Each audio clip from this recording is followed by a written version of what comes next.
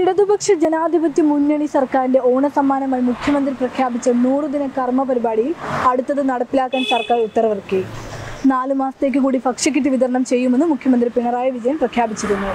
ആ പ്രഖ്യാപനമാണ് ഇപ്പോൾ സർക്കാർ ഉത്തരവായി പുറത്തിറങ്ങിയിരിക്കുന്നത്. എൺപത്തെട്ട് ലക്ഷം കുടുംബങ്ങൾക്കാണ് കിറ്റ് വിതരണം ചെയ്യുക. കോവിഡ് മഹാമാരി സംസ്ഥാനത്ത് വ്യാപിക്കുന്ന സാഹചര്യത്തിൽ ലോക്ക്ഡൌണിന്റെ ദുരിതത്തെ മറികടക്കാൻ സർക്കാരിന്റെ ഈ തീരുമാനം സഹായകരമാകും. ഓണക്കാലത്താണ് സർക്കാർ ഭക്ഷ്യദാന കിറ്റ് എൺപത്തെട്ട് ലക്ഷം കുടുംബങ്ങൾക്ക് എത്തിക്കാൻ നടപടി സ്വീകരിച്ചത്. ലോക്ക്ഡൌൺ കാലത്താലും പട്ടിണി കിടക്കാൻ ഇടവരുതെന്ന് ദൃഢനിശ്ചയമാണ് സർക്കാരിന്റെ ഇത്തരമൊരു തീരുമാനത്തിലേക്ക് പ്രേരിപ്പിച്ചതെന്ന് മുഖ്യമന്ത്രി പറഞ്ഞു. ഈ പദ്ധതിയോട് ജനങ്ങൾ നല്ല രീതിയിൽ തന്നെയാണ് പ്രതികരിച്ചത്. കോവിഡ് മഹാമാരി തീർക്കുന്ന ദുരിതം തുടരുമ്പോൾ വീണ്ടും നാല് മാസത്തേക്ക് കൂടി ഭക്ഷ്യധാന കിറ്റ് വിതരണം ചെയ്യുന്നതോട് ജനതയെ താങ്ങി നിർത്താൻ സാധിക്കും. ജനങ്ങളുടെ വിഷമഘട്ടത്തിൽ അവർക്കൊപ്പം നിൽക്കുക എന്നത് അവർ തെരഞ്ഞെടുത്ത സർക്കാരിന്റെ ഉത്തരവാദിത്തമാണെന്ന ബോധ്യമാണ് നമ്മളെ നയിക്കുന്നതെന്ന് മുഖ്യമന്ത്രിയുടെ വാക്കുകൾ. എട്ടിനും ഭക്ഷ്യധാന്യങ്ങളാണ് സർക്കാർ സൗജന്യമായി ജനങ്ങൾക്ക് നൽകുന്നത്. നിലവിൽ നൽകുന്നത് പോലെ റേഷൻ കട വഴിയാണ് നൽകുക. ലോക്ക്ഡൌൺ പ്രഖ്യാപിച്ച ഘട്ടത്തിൽ എൺപത്തിയാറ് പോയിന്റ് അഞ്ച് ലക്ഷം പേർക്കായിരുന്നു ഭക്ഷ്യദാന കിറ്റ് നൽകിയത്.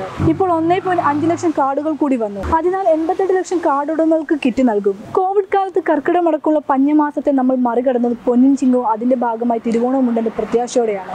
കോവിഡ് കാലത്തെ നമ്മൾ മറികടക്കുന്നതും ഇതിനപ്പുറത്ത് സൗഖ്യപൂർണമായ ഒരു നല്ല കാലമുണ്ടെന്ന് പ്രത്യാശ കൊണ്ടാണ്. ആ പ്രത്യേകിച്ച് തന്നെയാണ് കോവിഡ് മഹാമാരി മുറിച്ചു കടക്കാൻ നൂറുദിന കർമ്മ പരിപാടി ആവിഷ്കരിച്ചത്. അടുത്ത കേരളപ്പിറവി ദിനത്തിൽ പതിനാലിനും പച്ചക്കറി തറവിൽ രാജ്യത്ത് ആദ്യം പ്രഖ്യാപിക്കുന്നതോടെ ഈ പദ്ധതി നടപ്പാക്കുന്ന രാജ്യത്തെ ആദ്യ സംസ്ഥാനമാകും കേരളം. വിപണനത്തിന് സഹകരണ ബാങ്കുകളുടെ ആഭിമുഖ്യത്തിൽ കടകളുടെ ശൃംഖല ആരംഭിക്കും.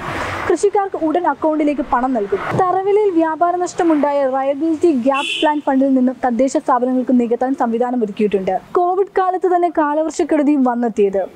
എങ്കിലും പൊതുവിതരണ സംവിധാനങ്ങളിലൂടെയുള്ള ഭക്ഷ്യധാന വിതരണം പാവപ്പെട്ടവരിൽ പാവപ്പെട്ടവരുടെ പട്ടിണി ഇല്ലാതാക്കുക മാത്രമല്ല പൊതുവിപണിയിൽ ഭക്ഷ്യധാന ദൗർബല്യവും കരിഞ്ചന്തയും പിടിച്ചു നിർത്തുന്നതിൽ പൂർണമായി വിജയിക്കുകയും ചെയ്തു. ഈ ഓണക്കാലത്തും പ്രശംസനീയമായ രീതിയിൽ തന്നെ പതിനൊന്ന് ഇനങ്ങളടങ്ങിയ ഭക്ഷ്യധാന്യ കിറ്റ് തികച്ചും സൗജന്യമായി എല്ലാ റേഷൻ കാർഡ് ഉടമകൾക്കും വിതരണം ചെയ്യുകയും തുടർന്നുള്ള മാസങ്ങളിൽ വിതരണം ചെയ്യും എന്ന് പ്രഖ്യാപിക്കുകയും ചെയ്തിരുന്നു. കോവിഡും മഴക്കെടുതിയും ദുരിതം വിതച്ചു പോയ മാസങ്ങളിലും ആരോഗ്യ പ്രവർത്തകർ പോലീസുകാർ തുടങ്ങിയവരെല്ലാം തന്നെ ത്യാഗപൂർണമായ പ്രവർത്തനങ്ങളാണ് കാഴ്ചവെക്കുന്നത്. ഇവരോടൊപ്പം തന്നെ നിശബ്ദമായി സേവനമനുഷ്ഠിക്കുന്നവരാണ് സിവിൽ സപ്ലൈസ് വകുപ്പ്. സിവിൽ സപ്ലൈസ് കോർപ്പറേഷൻ എന്നിവയിലെ ജീവനക്കാരും പലരും രോഗബാധിതരായെങ്കിലും സംസ്ഥാനത്തെ പൊതുവിതരണ സംവിധാനം കുറ്റമറ്റ നിലയിൽ പ്രവർത്തിക്കുവാൻ അവർ ത്യാഗസന്നദ്ധരായി മുന്നോട്ട് വന്നു. ദുരിതകാലത്തിന്റെ അതിജീവനത്തിൽ അവരുടെ പങ്ക് തീർച്ചയായും ഓർമ്മിക്കപ്പെടണം. കൂടുതൽ വാർത്തകൾക്കും വീഡിയോകൾക്കുമായി ജനീകം ഓൺലൈൻ വെബ്സൈറ്റ് സന്ദർശിക്കുക. ഒപ്പം like share and subscribe ജനീകം online Facebook and YouTube channel.